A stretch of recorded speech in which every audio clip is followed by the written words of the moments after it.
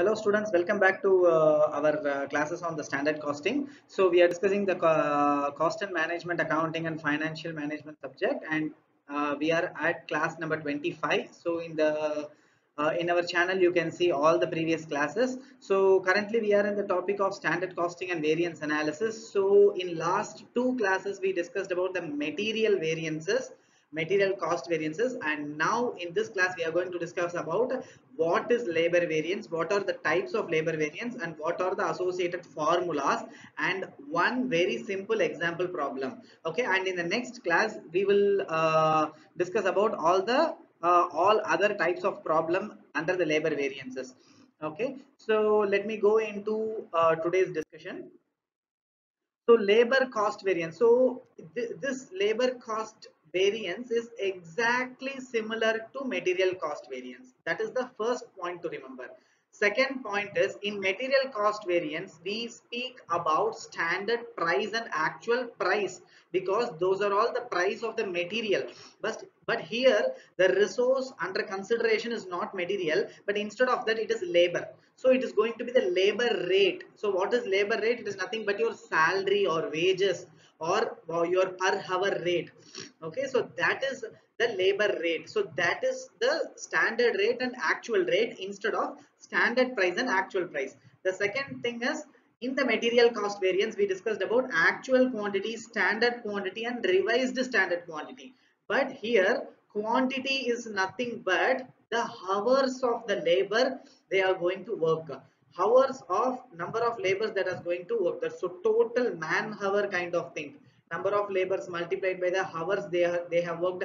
It is like a hours. So instead of actual quantity standard quantity revised standard quantity here we are going to discuss about actual hours. Uh, okay. So here we are going to discuss about actual hours standard hours and revised standard hours so if you replace all this material uh, costing formula or variance formula material uh, material cost variance material price variance material usage variance so usage variance is further classified into material mix variance and material yield variance. If you apply the same formula as it is instead of actual hour instead of actual quantity standard quantity revised standard quantity you can apply actual hours standard hours and revised standard hours same way instead of standard price and actual price you can update the uh, standard rate and actual rate. So that is the formulas are as simple as that. Okay? So here we are saying labor rate variance instead of material price variance it is labor rate variance which means change in the rate which means standard rate in minus actual rate. So always the variance is standard minus actual. Okay? So do not reverse the formula. Then your variance will be positive instead of negative or negative instead of positive which means instead of adverse variance you will end up favorable variance. Okay? So these are all we discussed in the material costing itself. Now i am just uh, saying it once again because i got the opportunity and you can also use this opportunity to revise the material cost variance. So okay. So the actual rate of the labor is something but the standard rate is something. So which means there is a difference in the rate. Rate is something called salary. So salary is negotiated and finalized by hr department or personnel department. So this labor rate variance the full stakeholder the finance department will question is personnel department only. Next is labor efficiency variance. But in our uh, material we discussed about material usage variance. Instead of material usage variance in labor uh, topic we are going to discuss labor efficiency variance the efficiency of the labor. Okay? So efficiency of the labor is standard hours minus actual hours. So always the variance is standard minus actual. So standard hours there is a prescribed hours in which your work has to be completed. Against which actually you have done the work in different hour. So actual hour minus standard hour multiplied by the standard rate will give you the labor efficiency variance okay?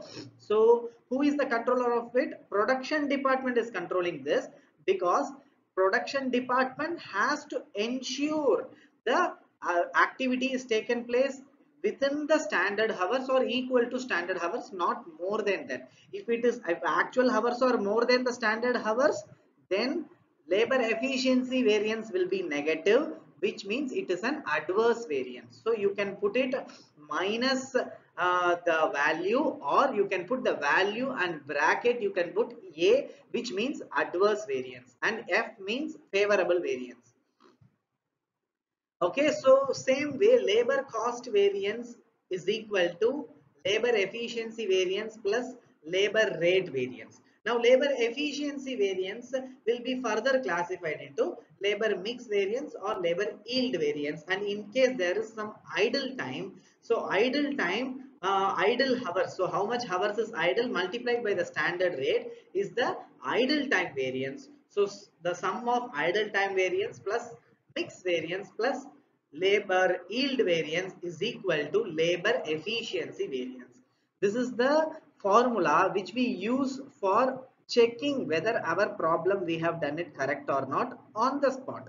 So on the spot that's why I ask you to attend the standard costing problem and if it is labor and material for sure you will attend because we have covered the labor also before your examination.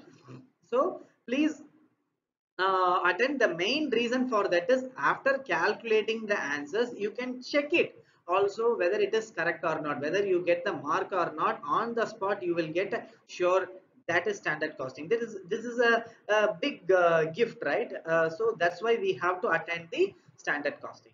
So we discussed about idle time variance. So we discussed about labor efficiency variance which is further divided into mix variance and yield variance. So mix variance is revised standard hour minus actual hour multiplied by the standard rate okay what will be the yield variance is also exactly same what we discussed in the material scenario. Standard minus revised standard hour. Standard hour minus revised standard hour brackets into standard rate. Okay so that will be the labor yield variance. Also we discussed about an alternate formula in the material also for yield variance. So here also in the yield variance actual yield which means actually what is the total hours we have got the uh, output minus standard yield nothing but the in, in as per standard what is the actual uh, total hours the people should have worked. That is the total. Putting together all the labors the total. So actual minus standard so only in the yield variance which is the output variance it will be actual minus standard. In all other variance it will be standard minus actual. Okay so multiplied by standard output price. This we discussed in material scenario. The same case, what is standard output price?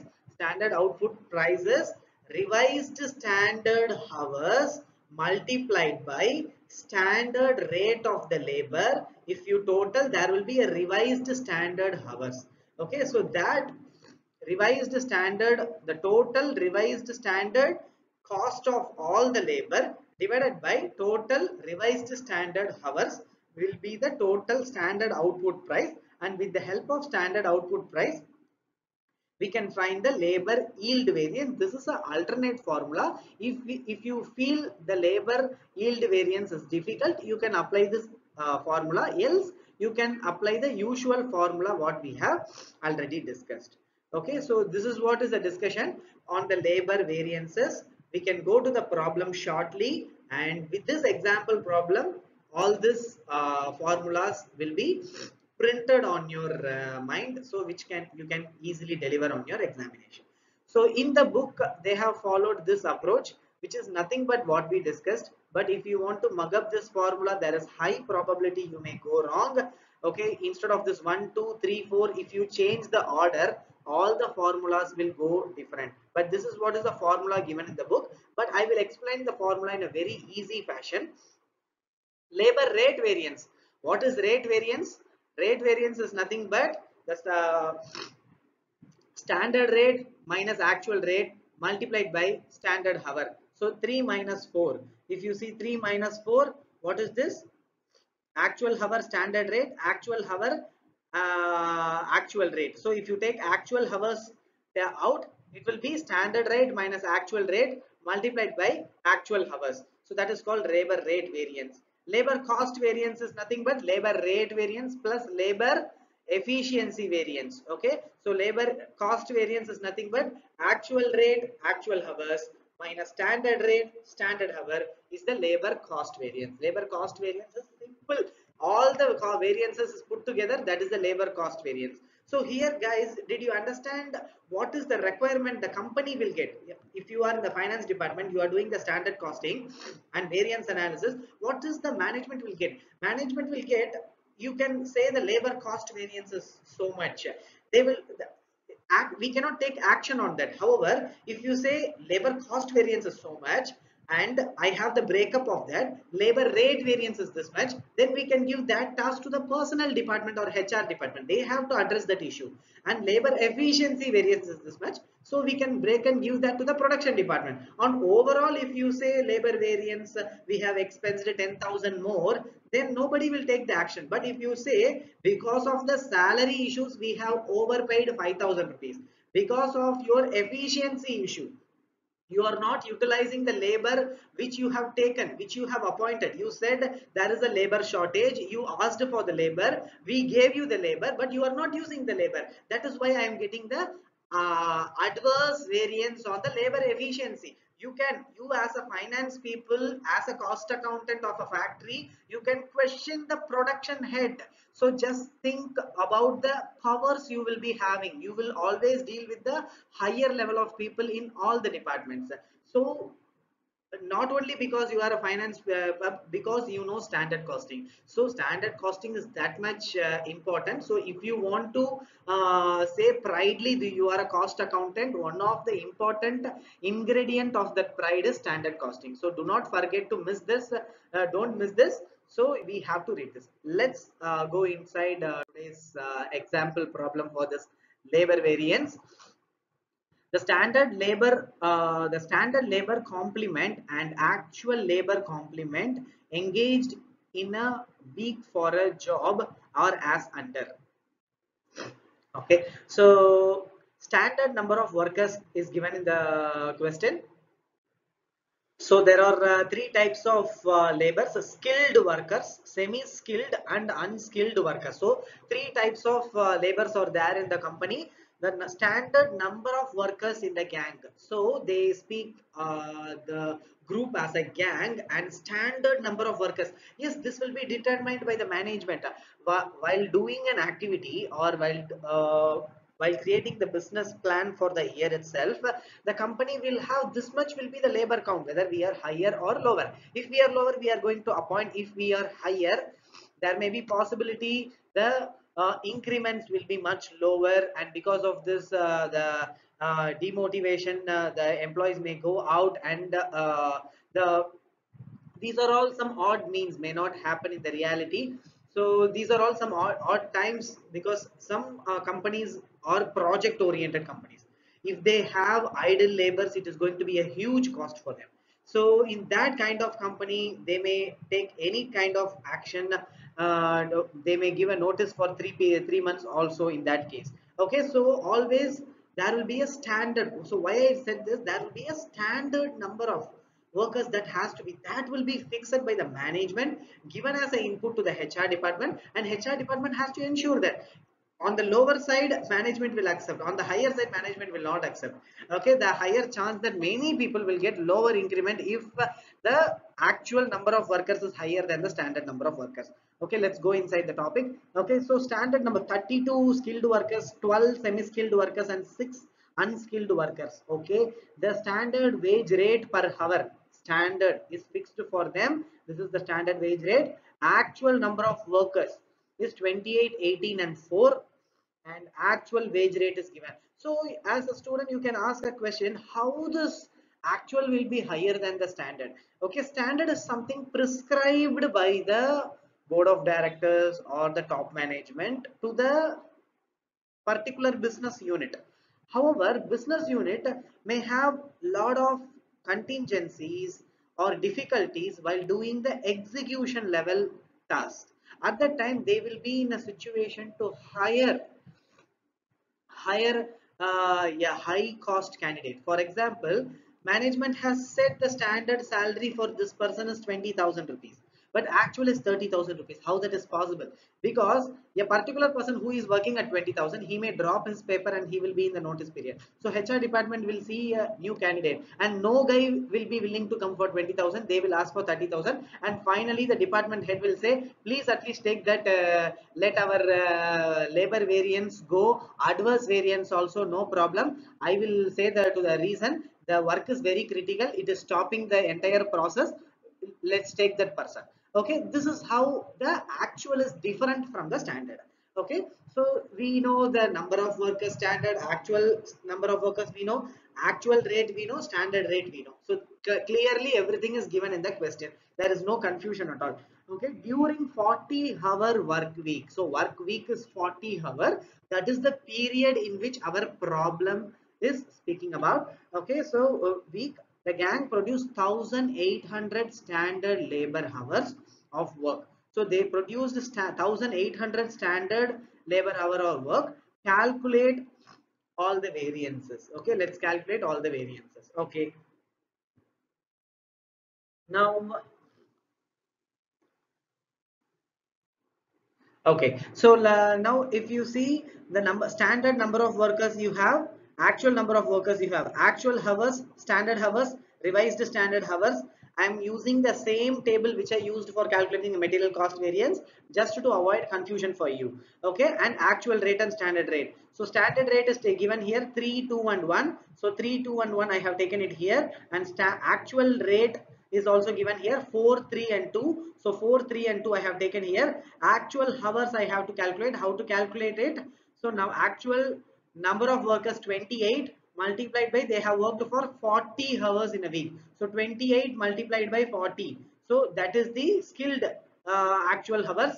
Next is 18 multiplied by 40 that is going to be the semi skilled and uh, 4 multiplied by 40 it's going to be 160 hours is the unskilled. So if you total it it's coming to 2000 hours of output next uh, but during the 40 hour work week, work week okay the gang has produced only 1800 standard labor hour which means the net output hours the total hours that we have received as a output okay is only 1800 hours which means 200 hours are lost. So how it is lost? Maybe uh, maybe something like this in a particular hour you have to produce 10 numbers. But you have produced only 8 uh, numbers which means 20% of hours is lost. So you can say in that fashion also. So same way here if you add everything it comes to 2000 hours but it is given in the question the net output actual is only 1800 so 1800 so the loss is 200 hours.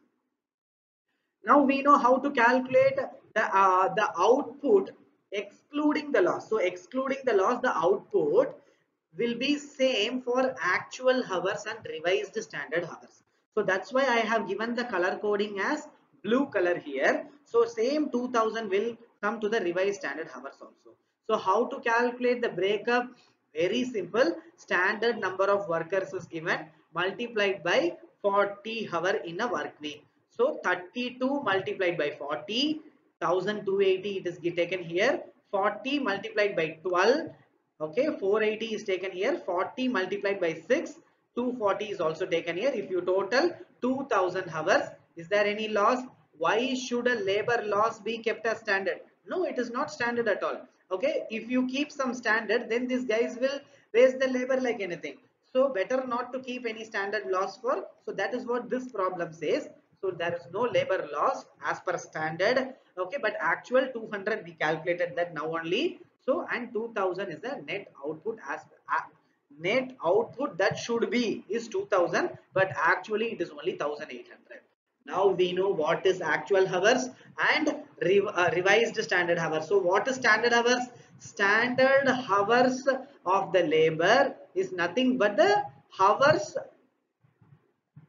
putting together it will be the net output. So net output should be tallied. So for the same so 2000 what is the breakup of the hours you calculated? But for 1800 what will be the hour? The same concept revised standard hours and standard hours are proportional to each other and we have to just apply the linear proportion to find it.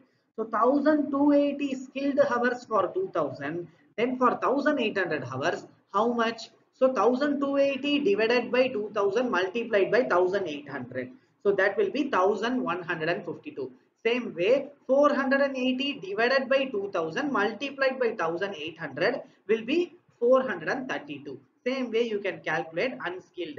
If you total it will be 1800 of course there is no loss that is prescribed in the standard for labor. Labor has to be 100% efficient that is what prescribed by the management but actual efficiency will be lesser or even sometimes higher also because over the period of time labor will start doing the work very fastly. At that time their efficiency would have increased also. Okay? So here there is no loss. So 1800 1800 will tally. Okay? So net output of actual and standard will be same. And excluding the loss the output of the actual and revised standard hours will be same now you have actual hour standard hour revised standard hour. You also have actual rate and standard rate. Just apply the formula and you can find the answers. Okay? So uh, you have uh, we have already discussed about all this uh, formulas. Okay? For example labor rate variance. What is the rate variance? Rate variance is change in the rate. Actual standard rate minus actual rate bracket multiplied by actual hours. So that is the labor rate variance. What is the labor efficiency variance? Efficiency variance means standard hours minus actual hours bracket multiplied by standard rate will be the labor efficiency variance. Now you can calculate all this okay? And labor efficiency is classified into labor mix variance and labor yield variance labor yield variance can also be said as labor sub efficiency variance. You may get this in your objective type. Labor yield variance is otherwise called as labor sub sub efficiency variance okay? So labor mix variance plus labor sub efficiency variance is equal to labor efficiency variance.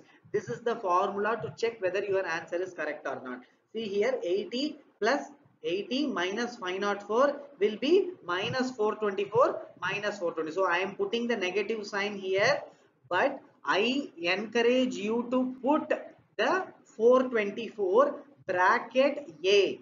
What is a? A means adverse variance. Adverse variance means it is not good. Okay? You have not done a good job. That is called adverse variance. So instead of putting a negative sign you can put adverse variance. Okay? Bracket a here labor mix variance is 80 positive Positive means favorable variance which means you have done a good job so you can put bracket f which means favorable variance okay so I hope you understood all this uh, formula. Also, we discussed about alternate formula for calculating the labor yield variance. You can just see this formula. It is much easier. So, this is a very, very simple problem of labor variances. Meet you with other type of labor variance problem in the coming uh, video. Okay, so all the very best guys. The exam is nearing. So, please do your good job in your uh, revision okay so all the very best guys thank you